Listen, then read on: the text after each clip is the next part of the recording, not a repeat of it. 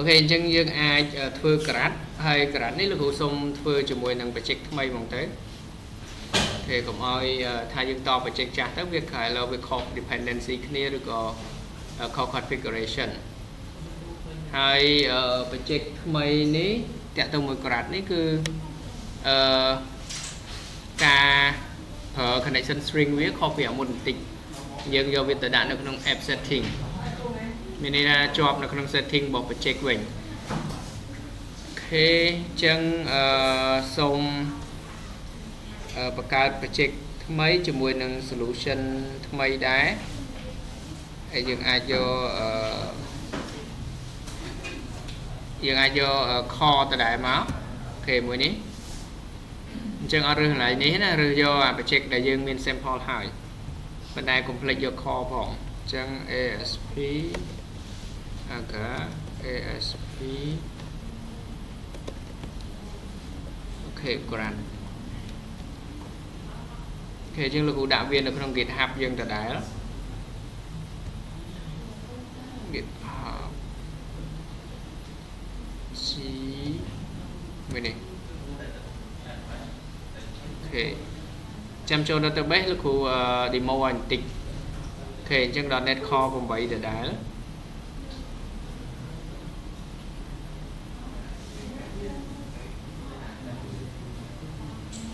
okay អញ្ចឹងយើងបាន project មកហើយហើយអញ្ចឹងយើងអាចទៅបន្ត install តាក់ទងជាមួយនឹងនេះបើយើងokay តាក់ទងជាមួយនឹង entity framework របស់យើងអញ្ចឹងអាចប្រើតាក់ទងជាមួយនឹង package manager នឹងដូចគ្នាមក okay យើងប្រើមួយ command យ៉ា install tool មុន okay ហើយបន្តទៀតចាំយើងមក install តាក់ទងមួយ SQL server ហើយទាំងអស់គ្នាអាចសាកមួយ MySQL បានបើសិនជាមានគ្នាយើងដែលចង់សាកល្បងមួយ SQL okay អញ្ចឹងយើង install វាចប់ហើយទាញវាមកក្រុមវិញហើយពលាមើល dependency យើងអញ្ចឹងមានណាទាំង tool ទាំង okay SQL server connection អូខេតមកទៀតអឺគេឲ្យយើង define model អញ្ចឹងក្នុងនេះអឺ លោកគ្រូបើសិនជាគេបង្កើតតាក់ទងជាមួយនឹង department CS អញ្ចេះលោកគ្រូសូមរុញវាទៅក្នុងokay directory model របស់យើងអញ្ចឹងដាក់ department model អញ្ចឹងទៅ okay អញ្ចឹងមួយទៀតគឺតាក់ទងមួយ employee employee model ហើយទាំងអស់គ្នាអត់ទាន់ច្បាស់កន្លែង connection នេះនៅពេលដែលយើងប្រើ SQL statement ទៅអត់អញ្ចឹងចាំដល់ពេលទៅសេឡើងហ្នឹងលោកគ្រូទៅ example ឲ្យមួយចុះ okay អញ្ចឹងឥឡូវមក follow តាមគេសិនអញ្ចឹងនៅក្នុង model នេះយើងអាច right click វាមក add class ថ្មីអូខេ class មិន controller ណាអញ្ចឹងប្រយ័ត្នលេខនឹងបន្តិច okay អញ្ចឹងយើងដាក់ department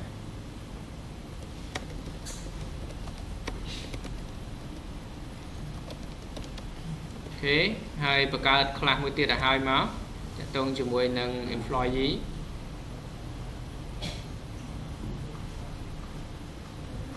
ខេគ្នាយើង follow create តាមលោកគ្រូអត់បើអត់ទេលោកគ្រូសូមរៀងលឿនបន្តិចអូខេហើយបើ follow លោកគ្រូនៅចាំកន្លែងមួយចំនួនអូខេអញ្ចឹងក៏បានដែរសូមម្ដងទៀតយ៉ាបច្ចេកមួយ install មួយមិនមែនបច្ចេកមួយទេ solution មួយត្រូវ install package មួយឬក៏ទាំងអស់នេះអាចចូល download package ហ្នឹងនៅក្នុងបច្ចេកជា offline ក៏បានដែរ ហើយ copy path ចូលទៅដល់ dependency វាទៅប្រើបានដូចគ្នា okay អញ្ចឹងអានេះសូម copy path លឿនជាង okay អញ្ចឹងអានេះក្នុង department ចឹងដាក់វាក្នុង department មក okay អញ្ចឹងគេមាន department ID គេមាន department name ហើយគេមាន employee មួយសម្រាប់ចង relationship នៅកន្លែងហ្នឹង okayខាងក្រោមនេះគឺបងអូខេ employee របស់យើងអញ្ចឹង employee យើងមានអីខ្លះអញ្ចឹងមានតកតងមួយ employee ID មាន name មាន email មាន position មាន department ID អញ្ចឹង department ID កន្លែងនេះវាដើរតួជា foreign key សម្រាប់ column name មួយហ្នឹងតើណាត់ហើយវាចង relationship គ្នាត្រង់យើងប្រើជាមួយនឹង10 public department department របស់យើងហ្នឹងអូខេចឹងបន្តពីនឹងទៀតគឺដល់វគ្គ configure database ចឹង configure database នៅកន្លែងនេះ គឺគេឲ្យយើងប្រើតាក់ទងជាមួយនឹង server មួយដែលយើងប្រើវានៅក្នុងអឺ sorry មិន server connection string connection string នៃ server យើងដោយដាក់វានៅក្នុង app setting អញ្ចឹងមុនហ្នឹងយើងសប្តាហ៍មុននោះយើងធ្វើវានៅក្នុងអឺ file មួយមួយទៀតត្រូវអត់អញ្ចឹងដល់ពេលនេះគឺយើងអត់ប្រើ file មួយទៀតទេគឺយើងប្រើ app setting ហ្មងអញ្ចឹង project ហ្នឹងគឺយើងយកវាទៅណាក៏អត់ចាំបាច់ configure នៅក្នុង file ដែរគឺវាជាប់ default របស់ project ហ្នឹងទៅមួយគ្នាអូខេគ្រាន់តែវាមានបញ្ហាមួយនៅពេលដែលយើងចង់ដូរ server តតែចូល app setting ទើបអាចដូរបានវាបាក់ឡើងហ្នឹងអញ្ចឹងអានេះផលប្រយោជន៍វាគឺអឺវាងាយស្រួលអឺបើក connection នៅក្នុង project ក៏ប៉ុន្តែវាពិបាកក្នុងការ change server name ឬក៏ change database អីចឹងទៅអូខេអញ្ចឹងលោកគ្រូសូមចូល app setting សិនអឺមួយនេះ អូខេអញ្ចឹងយើងមើលមកគឺគេដាក់វានៅក្នុង block allow host កាយអូខេអញ្ចឹងយើង copy ត្រឹម connection string នេះមកហើយនៅកន្លែងនេះឃើញគេបង្កើតពាក្យមួយគឺពាក្យថា connection string connection string នេះអញ្ចឹងអាហ្នឹងគឺជាឈ្មោះនៃ connection យើងខាងក្រោមនេះតើណាអញ្ចឹង connection យើងគឺយើងមាន server អញ្ចឹង server name យើងឈ្មោះអីដាក់មកហើយ database យើងឈ្មោះអីដាក់មកហើយនៅក្នុងនេះគឺមាន track connection ស្មើនឹង true ហើយនឹង track service certificate ស្មើ true អញ្ចឹងសប្តាហ៍មុនគឺយើងយក server នឹងមកប្រើយើងថែមតែនេះមួយទៅវាដើរហើយតើណាអូខេអញ្ចឹងកន្លែងនេះនៅសល់2ចំណុចទៀតដែលយើងអត់ទាន់បានដាក់គឺ user ID ហើយនិង password អញ្ចឹងចាំមើលដល់ពេលយើង connection ជាក់ស្ដែងខ្ញុំយើងមកកែវាអូខេតមកទៀតអឺយើងបង្កើតតកតងមួយ configure db context តកតងជាមួយនឹង file គឺយើងត្រូវប្រើ file មួយឈ្មោះថាអូខេ ef core db context អញ្ចឹងបងប្អូនគ្នាចង់ដាក់ឈ្មោះអីក៏បានដែរប៉ុន្តែសំខាន់ត្រូវចាំឈ្មោះនឹងថាហ្នឹងគឺអូខេប្រើវាសម្រាប់ធ្វើការបង្កើត connection នេះចឹងទៅអូខេអញ្ចឹងយើងអាចមកបង្កើតវាមើលក្នុង listen គឺមានឲ្យយើងដាក់នៅក្នុងអឺតកតងជាមួយនឹង directory មួយណា create db context class from application manage database in entity framework db context class a component that server bridge between your application code and database it play important role in management uh, managing in uh, the interact connection with the underlying database okay so add a class name and copy path the following ចឹងលោកគ្រូសូមវាដាក់សូមដាក់វានៅក្នុង model ណាអូខេចឹងសូមដាក់វាក្នុង model ហើយហេតុអីបានជាលោកគ្រូអត់ដាក់វាក្នុង controller ឬក៏អត់ដាក់វានៅក្នុង view ដោយសារវាជាប្រភេទ class យេហើយមួយទៀតយើងឃើញមាននៅឡើយនេះមាន model មួយអញ្ចឹង namespace វាអាចនៅក្នុង model បាត់ទេតោះណាចឹងនៅពេលដែល customize code អីទៅមើលតាមនឹងទៅអូខេអញ្ចឹងយើងបង្កើត model មួយទៀតមកអូខេ class ច្រឡំ controller អីទៅយើងផាសអូខេវាចូលមក CS អូ ខេអញ្ចឹងយើងបានអឺ EF core DB context មួយហើយបន្តមកទៀតយើងអូខេយកត្រឹមនេះ DB context ឬក៏ចាំសរសេរតាមក្រោយក៏បានដែរហើយទម្រង់បែបនេះមានន័យថាបើសិនជាភាសាសាមញ្ញយើងហៅថា inheritance DB context អឺយើង inherit តាក់ទងមួយចេញអំពី class DB context របស់យើងហ្នឹងអូខេអញ្ចឹងអាច copy ប៉ុណ្ណឹងមក ឬក៏យក punishment សិនក៏បានដែរហើយចាំយើង copy តាមក្រោយទៀតអូខេធ្វើ arrow key មកលឿនជាងយ៉ាប់អានេះ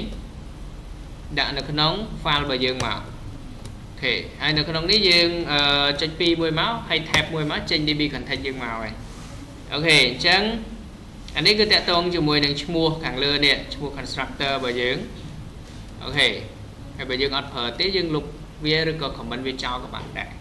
ប៉ុន្តែយើង copy paste អញ្ចឹងវាអាចនឹង error បន្តិចដោយសារពេលខ្លះវាអាចមាន space មានអីតិចតួចអញ្ចឹងទៅ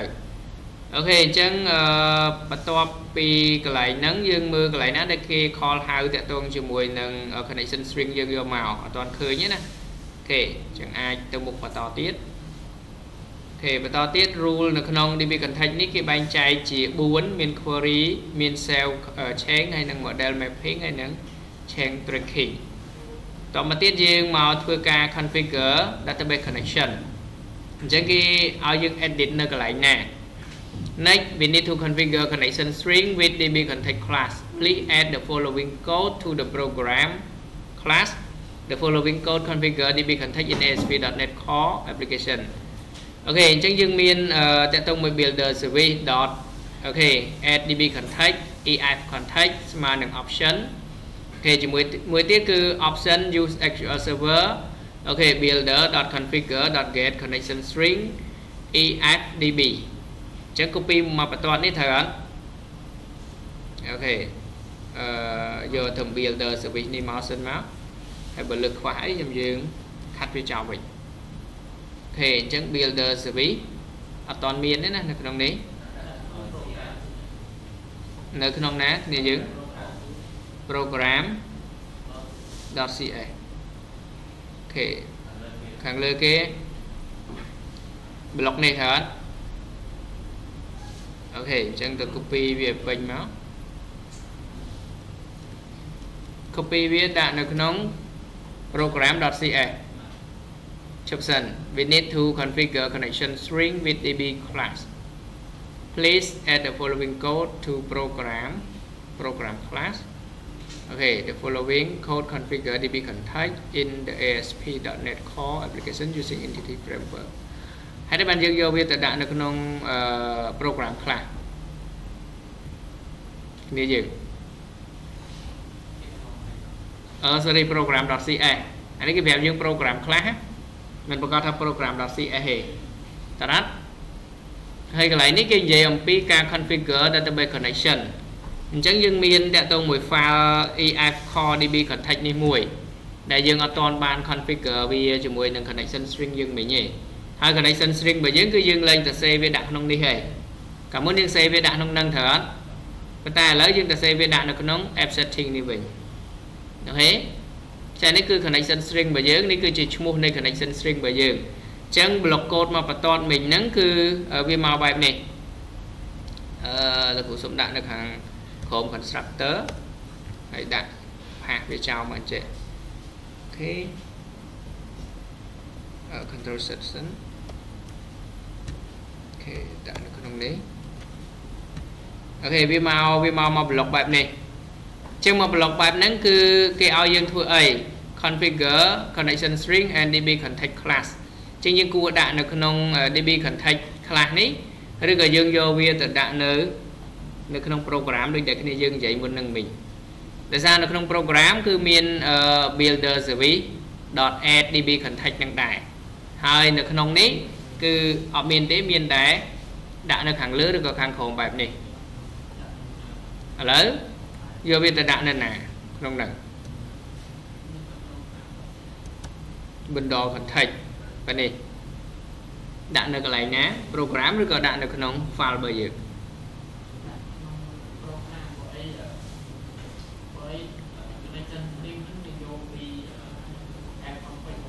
អូខេយកពី app config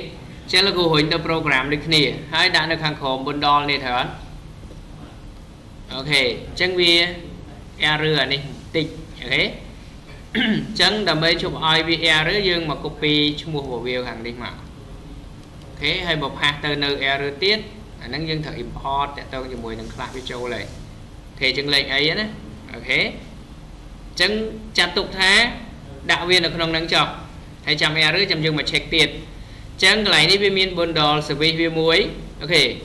builder service អូខេ add controller with view អញ្ចឹងយើងបង្កើត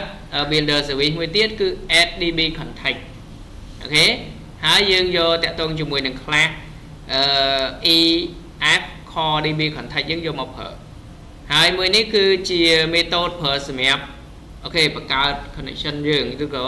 រុញទាញយកអា connection string យើងយកមកប្រើគេប្រើ builder configuration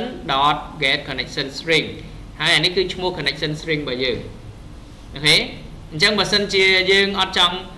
ប្រើ connection string នៅក្នុង app setting ទេយើងអាចផាស connection string របស់យើងនេះត្រឹម server នេះ copy វាត្រឹមហ្នឹងមក sorry ត្រឹមនេះ copy វាត្រឹមនេះមកហើយយកវាមកជួសនៅក្នុងកន្លែងដែលលោកគ្រូ highlight នេះតើណាអញ្ចឹងអាពីរហ្នឹងដូចគ្នាអទី1ឧទាហរណ៍គ្នាយើងលោកគ្រូដាក់ឈ្មោះតំណាងមួយដើម្បីឧទាហរណ៍ឈ្មោះទាំងអស់គ្នាវែងលោកគ្រូអត់ចាំទេ ចឹងលោកគ្រូហៅថាកហៅថាខអញ្ចឹងទៅចឹងដល់ពេលយើងយកទៅប្រើយកតែកឬក៏ខនឹងទៅប្រើបានទេតើណាត់អូខេអានេះគេប្រើឲ្យវាខ្លីជាងមុនហើយងាយស្រួលទៀតដំណាក់កាលមួយទៀតអូខេអឺដូចជាកាំងហើយអូខេដំណាក់កាលមួយទៀតគឺនៅដំណាក់កាល database migration អញ្ចឹងនៅកន្លែង database migration នេះគឺយើងត្រូវរុញអា data ដែលយើងបានបង្កើតក្នុង department ខ្លះហើយនឹង employee ខ្លះហ្នឹងទៅជា table របស់យើងតើណាត់អូខេចឹងដំណាក់កាលឡើយនេះបើទាំងអស់គ្នាអត់ចង់បង្កើតទេទាំងអស់គ្នាទៅសរសេរ database ខ្លួនឯងមកអត់ចង់ប្រើ migration ហើយនឹងអត់ចង់ប្រើ update data database ប៉ុន្តែជាទូទៅនៅក្នុង entity framework គឺ recommend ឲ្យប្រើ command 2ហ្នឹងដើម្បីទាំងអស់គ្នាអាច migrate data ដែលមាននៅលើ application យើងទៅកាន់ database បានអញ្ចឹងលោកគ្រូឲ្យ option 2អូខេ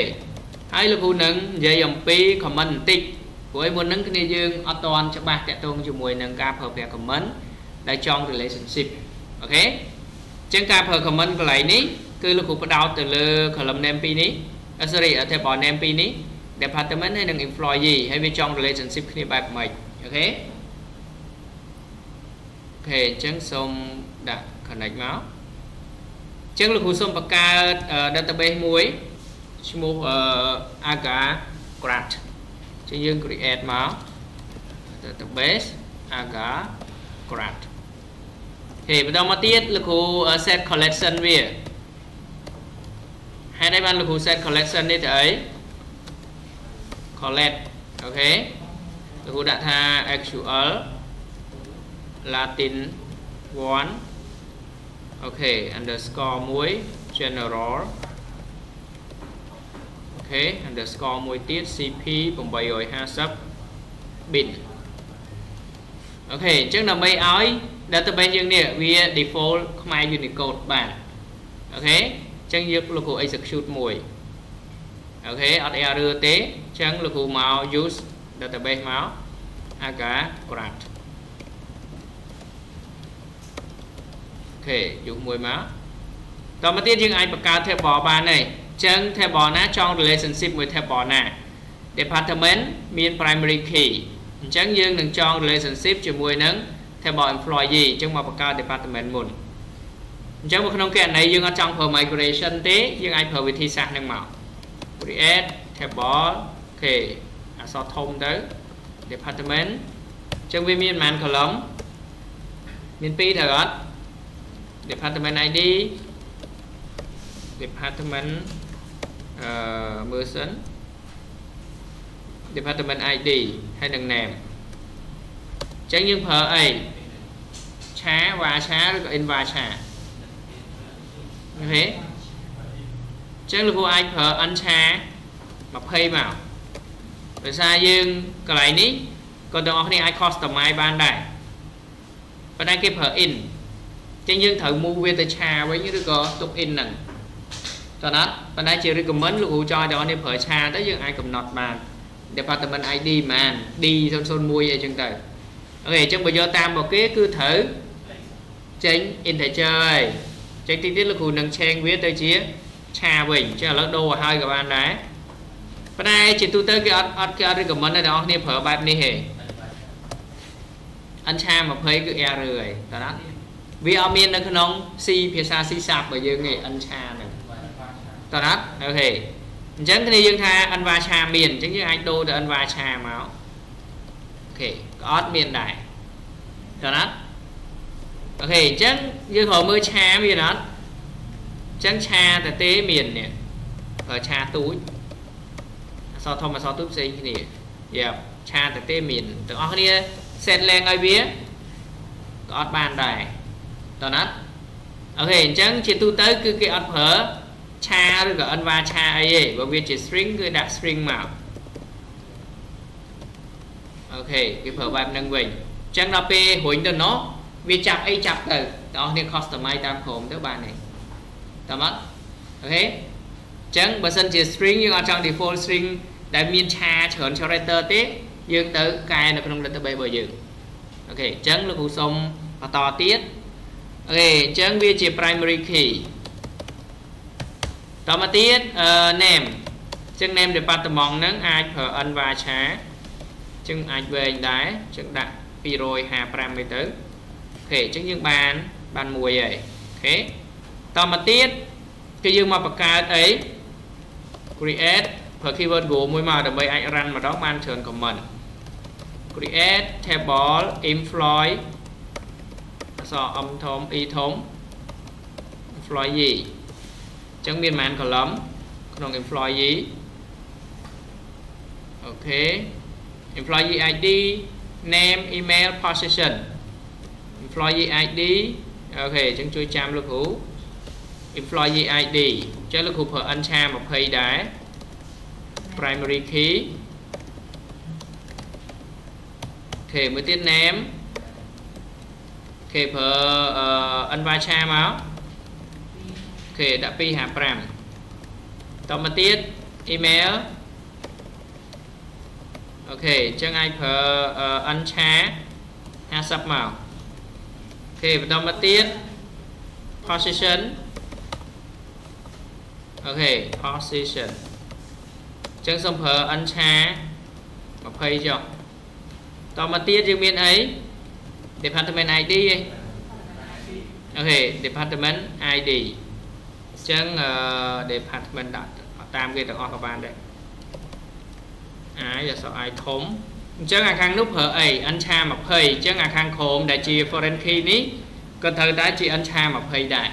បន្តមកទៀតយើងអាចបង្កើត foreign key ឲ្យវាមួយមក foreign key EIGN អូខេទៅលើអី department ID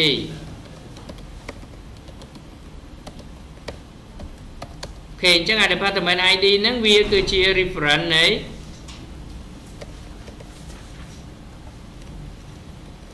អូខេអញ្ចឹងយើងដាក់ reference មកអក្សរធំ E N C E S អូខេអញ្ចឹងបើទៅសេចេញខៀវអញ្ចឹងគឺដល់ត្រូវហើយ reference នៃ table អី table department អញ្ចឹងត្រង់ column name ណា department ID អញ្ចឹងអា ID នៅកន្លែងនេះគឺ ID ខាងលើតើណាអញ្ចឹងលោកគ្រូអាចដាក់បែបនេះក៏បានដែរនេះអានេះមិនបាច់ដាក់ ID ទេចានេះលោកវាចោលដែរមកវាចេញមកបែបហ្នឹងតើណា អានេះគឺ column name ជា foreign key អាមួយនេះជា column name របស់ table ខាងលើ ដែល foreign key នេះវាគឺជា reference នៃ table ខាងលើតើណាត់អញ្ចឹងយើងអាច control set មកវិញមកឲ្យវាចេញ ID ធម្មតាតែប៉ុណ្្នឹងមកទាំងអស់គ្នាអាចចង់ relationship បាននៃ table 2ហ្នឹង execute ទៅវាចាប់គ្នា automatic តើណាអូខេចុះបើសិនជាទាំងអស់គ្នាចង់ដាក់ឈ្មោះឲ្យអា relationship ហ្នឹងអាដៃចាប់គ្នាហ្នឹងចង់ឲ្យវាឈ្មោះអីអញ្ចឹងត្រូវប្រើ comment អី ចឹងយើងថែម comment ខាងលើមួយទៀតដាក់ថា constraint A I N T constraint នឹងមកហើយដាក់ថា FK អូខេ department employee ប៉ុណ្ណឹងមកអញ្ចឹងបានឈ្មោះមួយនៃ relationship ហ្នឹងហើយបាន table 2ចង relationship គ្នាត្រង់ column name department ID និង department ID តោះណាត់ឡើងហ្នឹងអូខេអញ្ចឹង execute មួយមក អូខេអញ្ចឹងយើងមកមើលក្នុង object នេះមកនេះអូខេទៅណាបាត់ទេ PCU aga refresh មួយសិន aga grad ពលា table យើងឃើញមាន2អត់ពលា diagram yes មួយមក right click វា new diagram add វាមកអូខេអញ្ចឹងឃើញមាន relationship មកស្រាប់អត់ហើយ select លើ relationship នេះមក right click វាយកពាក្យ property មកអ្នកនរឃើញឈ្មោះដែលយើងដាក់ constraint មិញអត់នេះតោះណាចឹង comment វាប្រើតែប៉ុណ្្នឹងប្រើតែប៉ុណ្្នឹងឯងចង់ relationship គ្នាអ្នកនរចង់ចងមិន table ក៏បានដែរប្រើ foreign constraint foreign key constraint foreign key ចឹងទៅតោះណាណាអូខេចឹងការ save comment នេះជាអត់មានអីប្របែកអ្វីដែលសំខាន់អស់នេះ start ប៉ុណ្្នឹងហើយការងារមួយទៀតនោះគឺលោកគ្រូចង់ឲ្យទាំងអស់គ្នាមើល ER diagram តែ save comment បែបហ្នឹងចេញតើណាអញ្ចឹងដូច diagram ដែលលោកគ្រូបោះឲ្យក្រុមអឺមុនហ្នឹងអញ្ចឹងក្រុម school management ចឹងមើលអា diagram ហ្នឹងមកទៅ create script បែបហ្នឹងមកចឹងយើងធ្វើការងារជា script ចឹងទៅចំណេញជាងអូខេអញ្ចឹងក្នុងនេះគឺនៅពេលដែលយើងមានតាក់ទងជាមួយនឹង database នឹងហើយយើងអត់ចាំបាច់រួញអានេះទៅទៀតទេអញ្ចឹងយើងអាចមកលង step migration នឹងបាន នេះ step migration មុននឹងវិញអូខេកន្លែងណាកន្លែងខាងក្រោមខាងក្រោមអូខេទៅខាងក្រោមទៀតអូខេមួយនេះអាចលោកពីនឹងបានដោយសារយើងទៅសេ comment ហើយយើងតើអត់ប៉ុន្តែនៅពេលដែលយើង migrate សារក្រោយទៀតចាំវា update ឬក៏វា consistent table អីអត់ដឹងទេតោះ test សិនអូខេអញ្ចឹងយើងទៅមុខបន្តទៀតអញ្ចឹងក្រោយពីបានប៉ុណ្្នឹងហើយគឺបើយើង execute អា comment ពីរវិញវាបាន file នេះមួយ db ai migration history ហើយបើយើងអត់ migrate ទេហើយនឹងអត់ប្រើតាក់ទងមួយ comment អី update database ទេវាអត់ចេញអានឹងឲ្យទេអូខេអញ្ចឹងទៅទៀតគេឲ្យយើងធ្វើការ insert តម្លៃនេះអូខេ insert into department IT department HR department payroll អូខេអញ្ចឹងគេមាន mention យើងឲ្យ insert into ចេញពីចេញពី application អត់ before process the perform database grant operation let us okay uh, first insert SAM master database in department table by execute the following insert actual statement អូខេចានេះយើងទៅ insert វានៅក្នុងណា actual ទេអញ្ចឹងអត់មានអីពាក់ព័ន្ធទេអញ្ចឹងបើចង់ insert លោកគ្រូដាក់នៅខាងក្រោមនឹងមួយទៀតមកប្រើ keyword go មក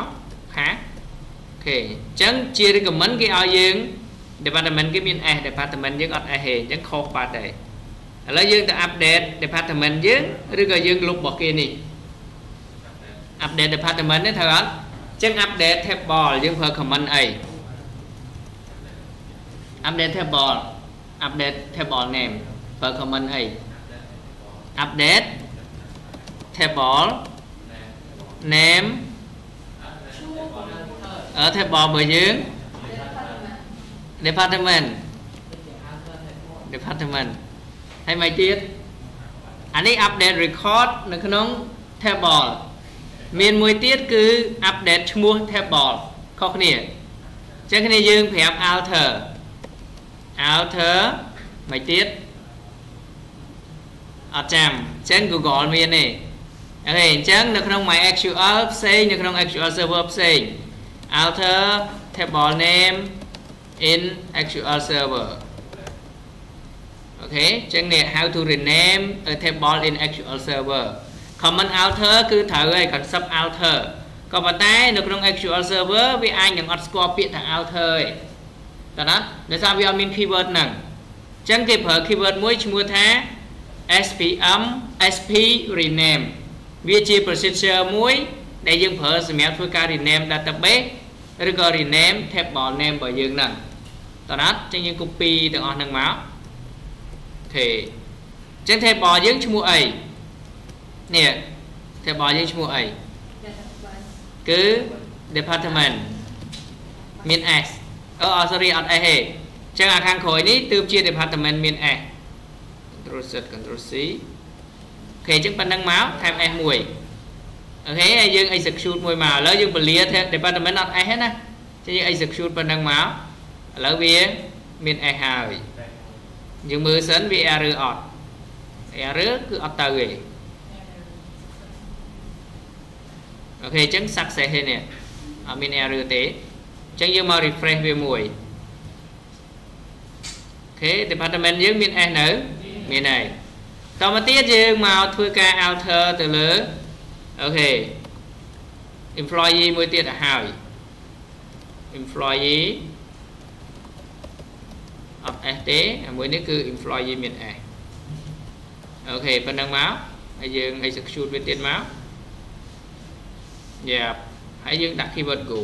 ហើយយើងថែម s ឲ្យគេវិញអូខេ ទៀតអូខេអញ្ចឹងកន្លែងនេះ insert ទៅចូលអត់ insert ចូលអត់លោក insert ទៅ error ហើយហេតុអីអត់មាន ID ចុះ keyword គេឲ្យមកមិនក៏អត់ error Yeah ដោយសារ ID គេប្រើ integer ហើយប្រើ auto increment ចំណែកឯយើងអត់ប្រើ integer ទេគឺប្រើ string អញ្ចឹងខាងមុខនេះត្រូវតែភ្ជាប់ជាមួយនឹង ID មួយទៀតអូខេដោយសារគេ insert all column អញ្ចឹងយើងចង់ដាក់ ID បែបម៉េចដាក់មកចឹងលោកគ្រូចង់ឲ្យទាំងអស់គ្នាប្រើ D ដាស់001 អូខេ D ដាស់002 D ដាស់003ប៉ុណ្ណឹងមក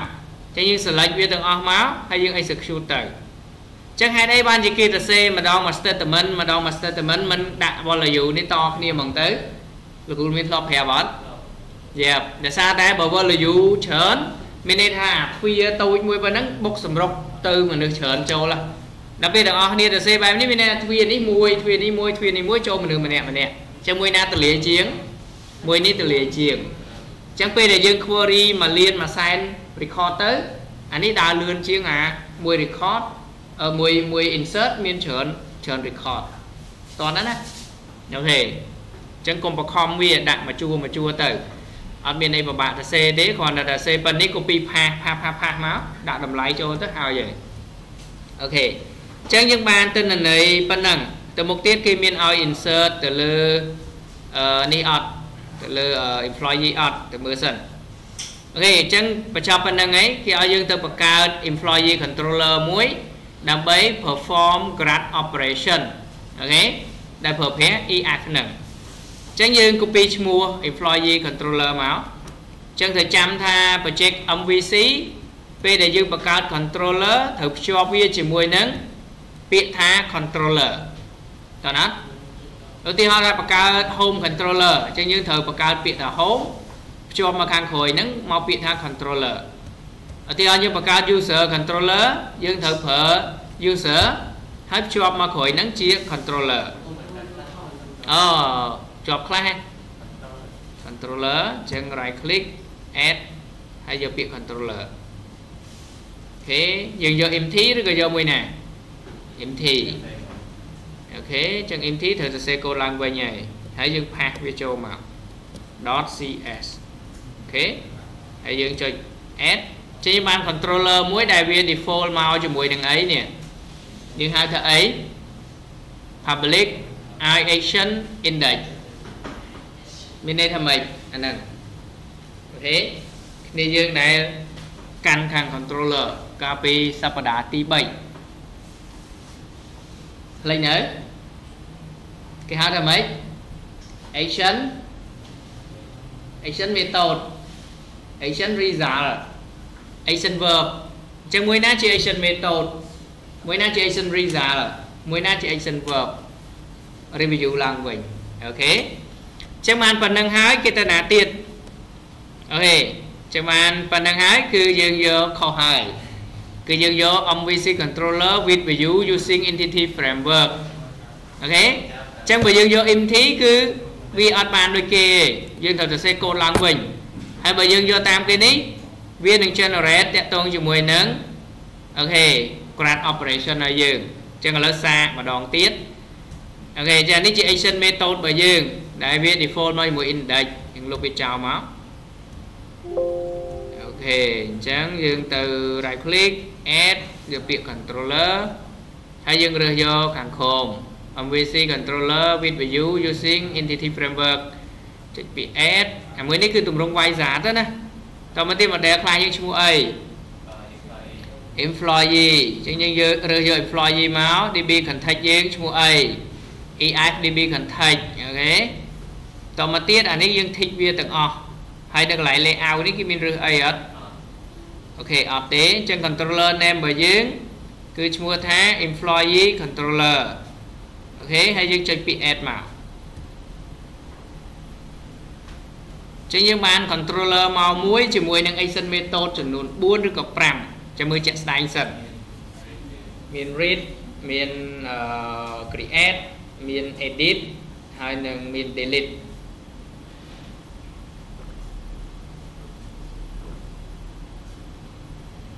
អូខេរៀងយូរតិចហី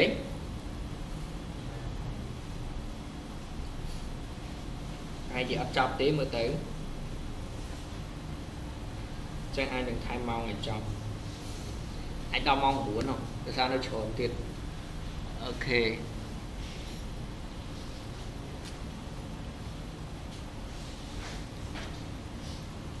update dependency អត់អីទេអញ្ចឹងអឺទៅអីអញ្ចឹងឈប់បញ្យល់ណា scroll យកណានេះយើងអូខេក៏លោកទាំងអស់គ្នារត់ចោលលោកគ្រូអស់ generate code អូខេអញ្ចឹងចិត្តបានហើយ controller របស់យើងហើយហេតុអីបានវាយូរមែនមុនហ្នឹងបង្កើត controller នោះមក plate សោះយ៉ាដោយសារវានៅបង្កើត action method 1 2 3 4មកអូខេអញ្ចឹងបានហើយនេះអូខេអញ្ចឹងបានមកមក set មកហ្មងអូខេមួយនេះ constructor អូខេបងប្អូនស្គាល់ constructor អត់ constructor ឲ្យតែមានឈ្មោះដូច class ខាងលើវាជា constructor ហើយតើណាត់អូខេអញ្ចឹងចំណាំប៉ុណ្្នឹងទៅហើយនេះយើងមានអី action result index យើងមាន action result detail យើងមាន action result create យើងមាន action result create ឡើងនេះយើងមាន action result edit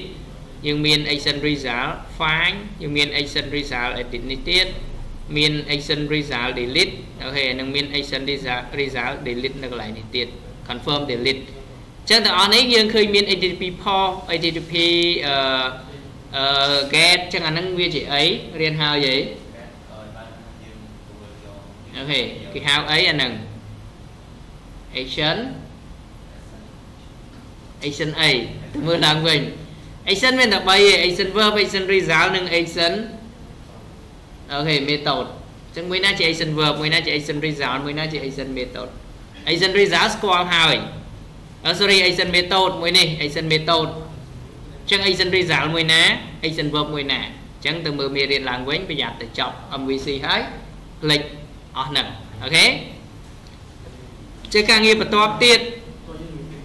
អូខេការងារបន្ទាប់ទៀតគឺយើងនឹងទៅ check មើល view អូខេអញ្ចឹងនៅកន្លែងនេះយើងមើលតកតងមួយ view យើងមានអត់អូខេចឹងយើងមកពលានៅក្នុងណាក្នុង view វាមាន employee មួយនេះ view យើងមានទាំងអស់អូខេបន្តមកទៀតយើងទៅណាទៀតអូខេគេឲ្យ create department controller ម្ដងអូខេហើយគេឲ្យយើង test comment នេះមួយអូខេ run application and install uh, and test all CRUD operation for both employee and department ensure that dependencies select work correctly when create edit an employee ចឹងនៅក្នុង department នេះអត់មានដំណាក់កាលអីទេគ្រាន់តែឲ្យយើងបង្កើតដូចគ្នាដូចមិញអញ្ចឹងអញ្ចឹងយើងមកបង្កើត controller ដូចមិញមួយទៀតមកទេអញ្ចឹងរៀងយូរបន្តិចទៀតអូខេអញ្ចឹងយើងរើសយកអីយក department ហើយនៅក្នុងនេះអូខេ DB context ដដែលអញ្ចឹងអស់ណាមានរឿងអីទៀតទេណាចុច add អូខេអញ្ចឹងពេលដែលទាំងអស់គ្នាបង្កើតតាក់ទងជាមួយនឹង column name ដែលមាននៅក្នុង table យើងដោយប្រើ script ខ្លួនឯងត្រូវតែច្បាស់ថា script របស់យើងនៅក្នុងនោះនិងក្នុងនេះគឺដូចគ្នាតើណាយ៉ាតែ column name ខុសឈ្មោះខុសគ្នា insert update delete គឺ error ហើយអញ្ចឹងនៅទៅកែវាម្ដងទៀតអញ្ចឹងបានលោកគ្រូ recommend ឲ្យប្រើ comment comment អី migration និង update database ចឹងបានណាណាទាំងអស់គ្នាបានហើយយើងពលា department មកដូចគ្នាឥឡូវសាកលបងអឺ សាកលបង run វាមើលសិនបាទអូ sorry នៅមួយគឺអត់ទាន់ connect ទៅកាន់ MySQL លើទៅសិនទៅហើយចាំមើលយើងវាយ department វាចេញឬអីទេអញ្ចឹង page យើងមកប៉ុណ្ណឹង slash គេ department អត់ចេញអី slash employee employee ក៏ចេញអីដែរ slash create មួយ slash index មួយមើលអូខេអត់ចេញអីទេ slash create create មាន e ឯង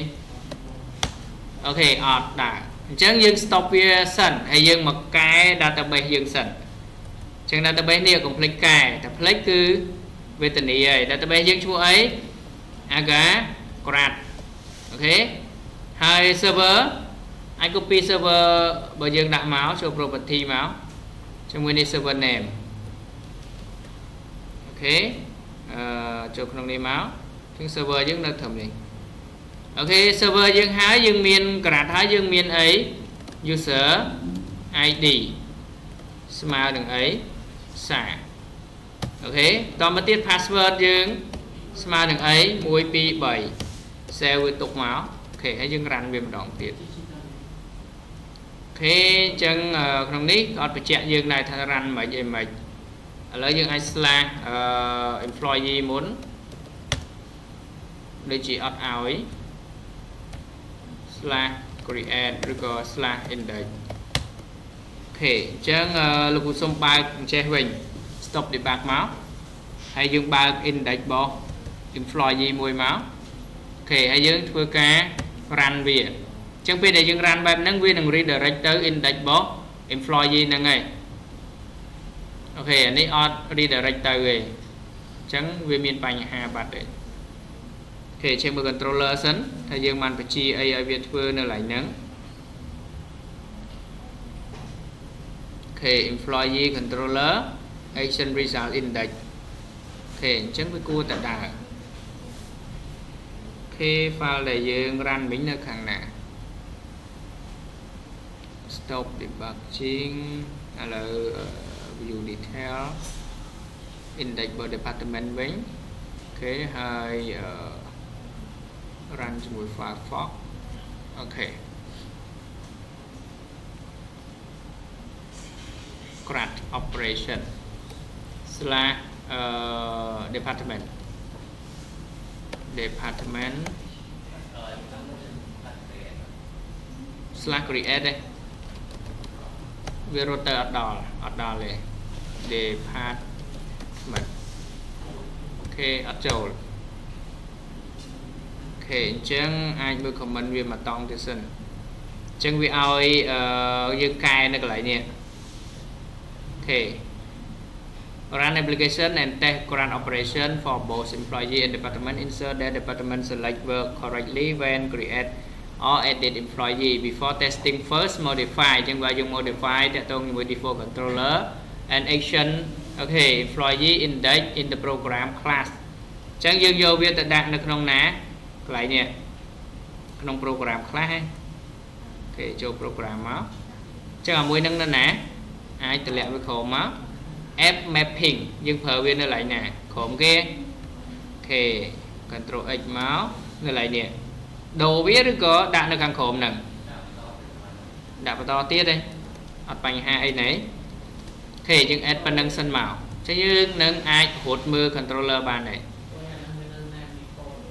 អូខេចឹងលុប default នេះចោលសិនណាឥឡូវអាច comment វាសិនមក slash ផ្កាយអូខេផ្កាយ slash អូខេកុំឲ្យបាត់កូដគេ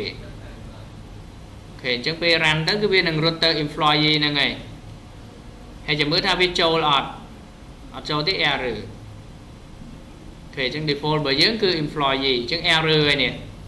actual invalid column name department 1អញ្ចឹង column name ណាដែលមាន department 1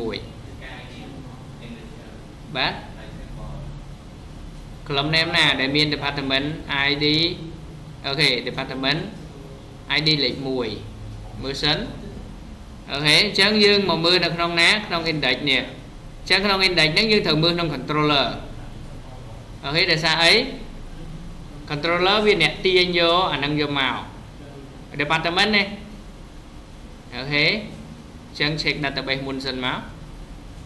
លោកសង្ស័យ database យើងមាន database ID លេខ1 department ID department ID ត្រូវហើយក្នុងនេះក្នុង employee អត់មាន column y execute error គេបង្កើតហើយយត់តែ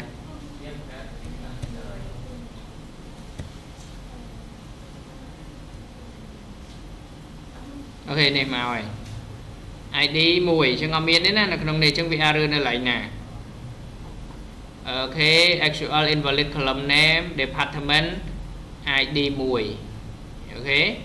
អត់មានអីទាំងអស់អញ្ចឹងយើងគួររកកន្លែងណា data reader asynchronous actual client អញ្ចឹងរកណាទាំងអស់គ្នា error មួយនេះ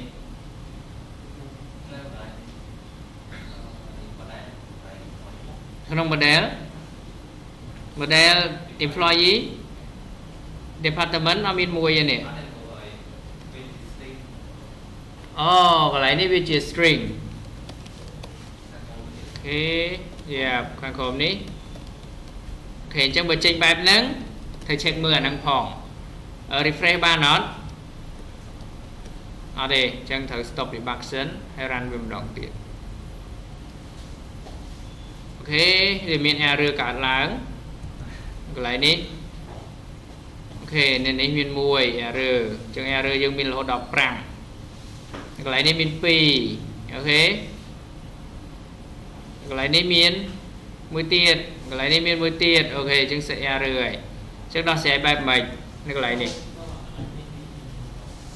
អូខេដូរឡើយណាឥឡូវមើលពីលើមកដូចមាន error មួយនេះតែនៅក្នុង detail នេះបានហើយកែ detail បាន នៅឡើយនោះក៏កែបានដែរដូរឡើយណា អូខេអញ្ចឹងនៅកន្លែងនេះដោយសារយើងដូរ data type អញ្ចឹងវាដូរពី string ដូរពី in the string ទាំងអស់តើណានេះឲ្យតែមានកន្លែងណាជា in យើងដូរវាមកជា string មកអញ្ចឹងនៅពេលដែលគេយកវាទៅ check លក្ខខណ្ឌកន្លែងហ្នឹងក៏វាដើរបែបហ្នឹងដែរកន្លែងនេះដូចជានៅ error មួយទៀត string អូខេហើយហើយអានេះអូខេមួយនេះមួយនេះអូ ខេអញ្ចឹងលោកគ្រូអត់បានប្រើ search ទេដូរឆៅឆៅចឹងមកទៅនៅកន្លែងណាមួយទៀត department បអូខេ controller អូខេ string អូខេ string string string string string អូខេ run វាម្ដងទៀតលេខ error ហើយអូខេអញ្ចឹងវាទៅហើយ អូខេអញ្ចឹងវាចេញមកបែបនេះចឹងនៅក្នុងទាក់ទងជាមួយនឹងអឺ employee យើងមានទិន្នន័យនៅនៅឯអញ្ចឹងយើងសាកល្បង create មួយមកអញ្ចឹងមកបែបនេះឈ្មោះ employee ឈ្មោះអីសុកសុក @gmail.com position admin department យើងប្រើអី ID ឬក៏ដាក់ HR គេអញ្ចឹងលោកគ្រូសូមប្រើ u ហើយយើងប្រើ d d ដាស់001 សិនហើយលោកគ្រូចាប់ផ្ដើម create អត់មានចេញ mistake អីណែ back to list អត់ទៅទេនេះអញ្ចឹងយើងមកមើលនៅក្នុង block ណាយើងមកមើលនៅក្នុង block create នេះអូខេ create create នៅណា create នេះ block create នេះ ចឹង create គឺគេបាញ department name អូខេបាញកន្លែងនេះចឹងអាហ្នឹងគឺអាចបញ្ជាក់ពី relational យើងហ្នឹងហើយបើយើងវាយ ID ចូលឬក៏យើងវាយឈ្មោះចូលអូខេចឹងយើងអាចវាយឈ្មោះទៅវានឹង insert អាទាក់ទងជាមួយ ID ចូលហើយចឹងសាកតេស្តម្ដងទៀត create អូខេអញ្ចឹងលោកគ្រូដាក់ sock ដដែល sock@gmail.com position admin អូ ខេអានេះគឺវាមាន HR ចឹងយើងដាក់ HR មួយមកហើយ create អូខេ back to list អត់មក refresh វាមួយមកចាំមើលក្នុង database សិនក្នុង table employee ហ្នឹងមានទិន្នន័យអត់ edit អត់មានទេឥឡូវលោកគ្រូដាក់ថាអូខេអានេះអាចនឹងមានបញ្ហាឡើយនេះមួយទៀតណា e ដាក់001ដោយសារយើងដូរវាទៅជា string ហ៎ sock អូខេ sock@gmail.com position admin h uh, sorry d ដាក់001យ៉ាហើយយើងមក refresh នៅ page យើងថាវាដើរអត់អញ្ចឹងទិន្នន័យមានន័យអូខេអញ្ចឹងយើងតេស្ត detail detail ក៏មានដែរហើយយើង back មកវិញអូខេយើងតេស្ត edit edit ក៏មានដែរគ្រូដូរដាក់អូខេ D002 វិញហើយយើងធ្វើការ save អូខេអញ្ចឹងយើងមើលទៅ D002 គឺក៏ដើរដែរអូខេអញ្ចឹងអឺ create ហ្នឹងវាអាចមានបញ្ហាទៅលើអីទៅលើ ID របស់យើងហ្នឹងឯងចឹងយើងអាចរកមើលមកកន្លែងណាដែលវា create ដែលប្រើមួយ ID របស់យើង context at department return to view name of index អូខេ name of index create យើងដូចអត់មានអីមកទៀតទេមានតែប៉ុណ្្នឹងទេត្រូវអត់អស់ហើយមានតែប៉ុណ្្នឹងអញ្ចឹងវាយក list ពី index មកយកមកប្រើនេះអូខេ underscore contact department index department មក ID direct យកមកឥឡូវទៅមើល document យើងបន្ថែមសិនចឹងក្រោយពី run បានហើយនេះ department វាចេញលេខ1ឲ្យយើងឲ្យពេលយើង create ចឹងគេឲ្យយើងធ្វើអី គេឲ្យយើងមក check មើលនៅក្នុងនេះ public អូខេអឺ agent research create view data department new select contact department department ID ស្មើនឹង name return view អូខេហើយឲ្យយើងដាក់កន្លែងនេះមួយទៀតអូខេ HTTP អូខេ validation NT for Vagary token អូខេដាក់មកបែបហ្នឹងទើបយើងអាច add វាបាន ចឹងក្នុងនេះយើង add វាចូលក្នុងណាគឺចូលនៅក្នុងអូខេ create របស់យើង agent reason create អូខេអញ្ចឹងយើងអត់ទាន់មាន agent reason create ទេមួយនេះដាក់នៅកន្លែងនេះហេបងប្អូនត្រូវអត់អូខេអញ្ចឹងនេះមកខាងក្រោមនេះជំនួសអាហ្នឹងឬក៏យើងបង្កើតថ្មីជួអាហ្នឹងឬក៏មិនកូដមិញ ក្នុង employee អូ sorry អញ្ចឹងលោកគ្រូមើលមួយសតុះនេះគឺមើលខុសហើយអញ្ចឹងនេះក្នុង employee នៅនេះ edit ខាងលើនេះ create នេះអញ្ចឹងយើង select វាមក create ហ្នឹងឬក៏ត្រឹមនេះទៅឯងគេជួសកូដទាំងអស់ណាហើយ BR ខ្ញុំគិតទៀតអូខេ department ID អូខេចឹងឥឡូវសាក refresh វាម្ដងទៀត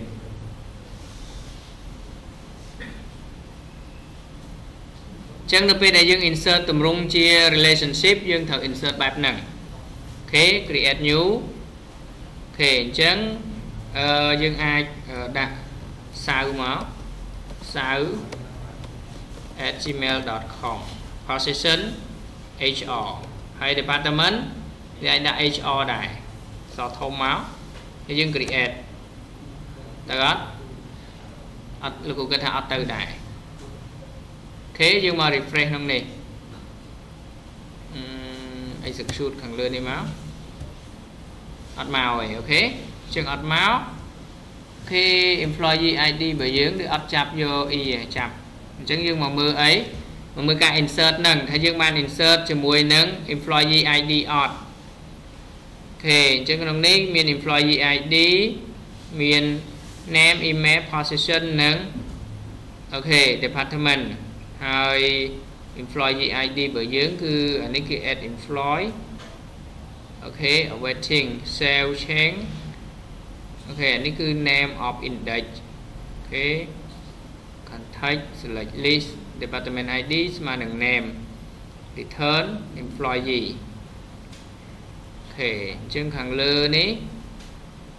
return employee អញ្ចឹងគេដាក់ថា if id អូខេស្មើ null return not found employee await employee first name ស្មើនឹងអូខេ first or default async អូខេ if employee ស្មើនឹង null not found ចាំមានន័យថា ID របស់យើងនេះ វាដើរតួជា employee ID ឬក៏ដើរតួជាអីអានេះសម្រាប់ detail អឺ detail វាទាញពី table នោះមកក្នុង create ចាប់ពីនេះ return value អូខេចឹងដោយសារតែ employee ID របស់យើងវាដើរតួជា string ចឹងកន្លែងនេះវា insert អត់ចូលអូខេ អានេះត្រូវដោយសារវាទាញអានោះមកហើយចឹងលោកគ្រូសុំ update អានេះទៅជា auto increment វិញហើយចាំមើលសារលបងអឺ insert វាធម្មតាទៅវាទៅអត់ Yep អូខេលោកគ្រូលុបចោលហើយហើយចាំមើលអឺថាតើយើងអាចរួចវាទៅជា auto increment បានអត់ចឹងនេះដាក់វាជា in វិញមក okay identity yes អឺអត់ទៅទេ save មួយសិន yes okay រូប close ចោលអស់សិន close all okay right click វា yeah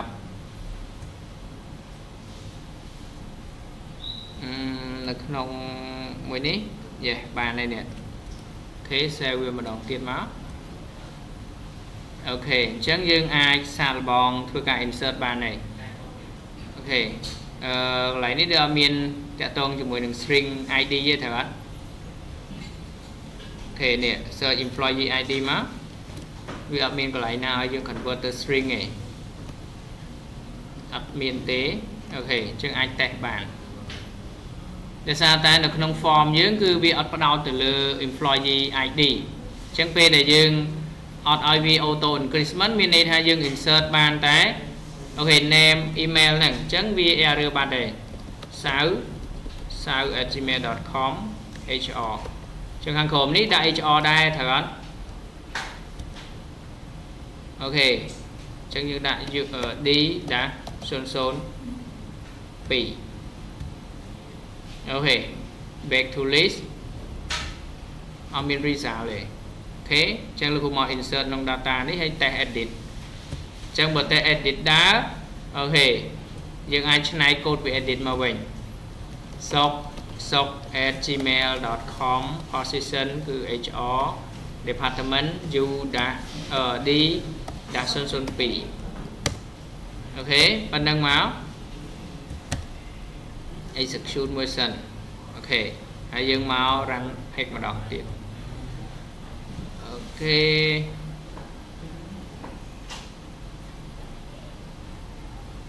error query ហើយអញ្ចឹងជាប់ in32 ជាមួយនឹង string អូខេអញ្ចឹង string នេះគឺវាជាប់ត្រង់ណាជាប់ត្រង់ employee ID ហ្នឹងហើយអញ្ចឹង control C មកមើលកន្លែង employee កន្លែងណាដែលយើងដូរវាទៅជា string នោះក ន្លែងនេះកន្លែង department នេះឬក៏នៅក្នុងនេះអូខេលើនៅកន្លែងណាអាចរកឃើញអត់ជាលោកគ្រូអាចដាក់ in វិញ yeah employee ID ID ស្មើនឹង in ហើយនឹង sorry control section ដូចជានៅក្នុង model ឯង model មាន employee មួយដែលយើងដាក់វាជា string ឥឡូវដូរវាមក in វិញមកអូខេក្នុង department អត់ទេ department លោកគ្រូទុកវាជានេះដដែលអូខេអឺលោកគ្រូទុកវាជា string ដដែលដោយសារយើងចង់ប្រើជា string ហើយកន្លែងនេះអឺលោកគ្រូអត់បានធ្វើវាកាត់វាចេញពី auto increment ណាតែអញ្ចឹងទៅយើងអត់អាច ដាក់វាជាអឺ string បានទេអូខេអញ្ចឹង run វាម្ដងទៀតមានន័យថា employee វានៅតែជាអូខេ in ដដែលនៅចុងក្រោយមួយទៀតអូខេ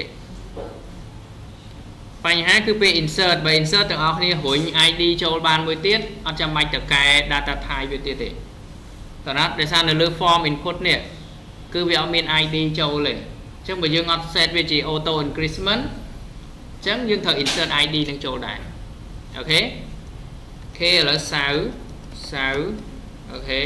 ដាក់សៅទាំងអស់មកប្រើ HR សិនអត់ដែរចាំយើងប្រើ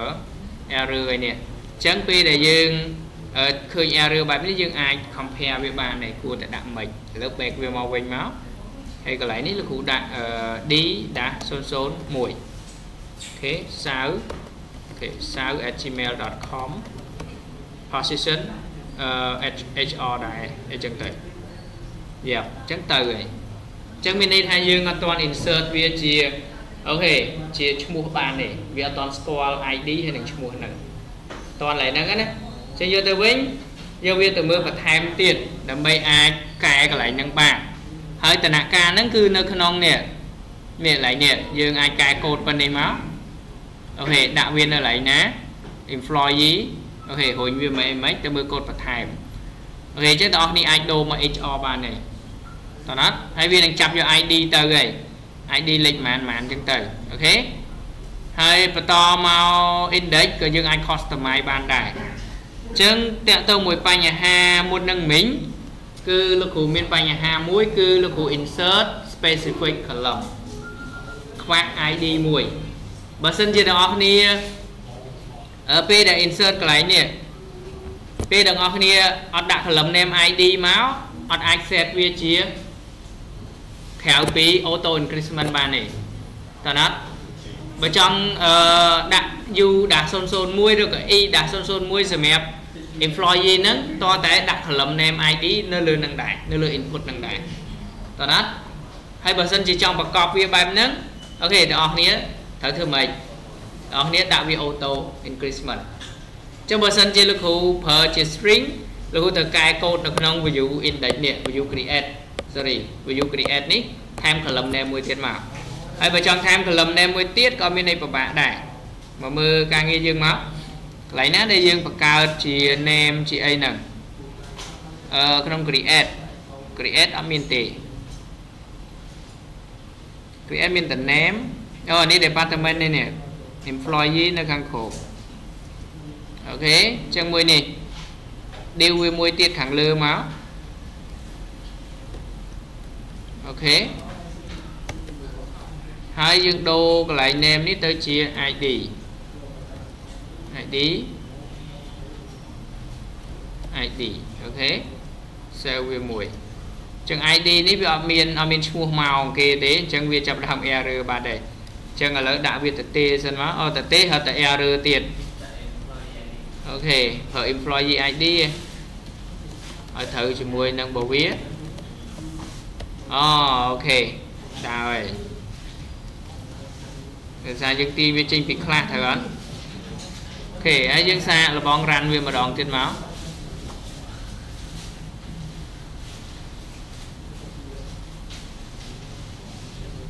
អូខេ ចឹងអាច create មកបាន column មួយទៀតតើណាចឹង column name នេះយើងអាចកំណត់លេខបានឬក៏បើវាជា string វានឹងដើរតួជា string អានេះជា string អានេះជា data type មានលេខឲ្យយើងដាក់ឬតើណា data type ជា int អញ្ចឹងយើងអាចធ្វើការ create ដោយប្រើ employee ID បានហើយអញ្ចឹងទៅវិញឆ្នៃកូដខ្លួនឯងធ្វើម៉េចបង្កើត user យើងឲ្យដាក់ បាន sample នេះទៅណាអញ្ចឹងឆ្នៃវាទៅមួយ user ហើយនឹងOK role អញ្ចឹងអានេះ employee ជាមួយ department department ដូចជា role អញ្ចឹង employee ដូចជា user អញ្ចឹងតោះណាតែប៉ុណ្្នឹងទៅបងប្អូនអាចធ្វើ insert update ហើយនឹង delete បានហើយ OK អញ្ចឹងជួបគ្នាពេលក្រោយអត់ version អញ្ចឹងទេសេដៃជិះលោកគ្រូ copy source code ឲ្យដាក់លើ paper ហើយទៅសេដៃទាំងអស់គ្នា OKអញ្ចឹងសេដៃនឹងវាយស្រានមួយណាល្អប្រើជាងទីទៀតទាំងអស់គ្នាដឹងតែសេដៃពិបាកប្រើប៉ុន្តែយើងចង់បានអីមានណាឃើញតែមិញអត់ខណៈលោកគ្រូអត់ដាក់ឈ្មោះ employee ID យ៉ារើប៉ុន្តែបើយើងទៅសេដៃខ្លួនឯងអូខេចង់ដាក់ឈ្មោះអីក៏បានដែរតោះឡើយហ្នឹងណាអូខេអញ្ចឹងការងារយើងមានប៉ុណ្ណឹងសង្ឃឹមថាសប្តាហ៍ក្រោយទី1មាន grad operation នឹងឲ្យលោកគ្រូ ទី2មានតកតទៅមួយ ER diagram សម្រាប់អូខេ project របស់យើងអញ្ចឹងមានតែ2ការងារហ្នឹងទេហើយសប្តាហ៍នេះអត់ដាក់ test ថ្មីទៅទេដើម្បីឲ្យ complete test ចាស់ហ្នឹងអូខេអរគុណ